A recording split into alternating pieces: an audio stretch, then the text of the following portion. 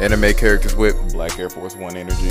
Alright, number one, we gonna start off strong with this nigga Vegeta. We all know damn well this nigga is the anime living embodiment of Black Air Force One activity. He wants to run your fade, he wants all the damn smoke, no cap, no cap. Remember, he blew up everybody in the damn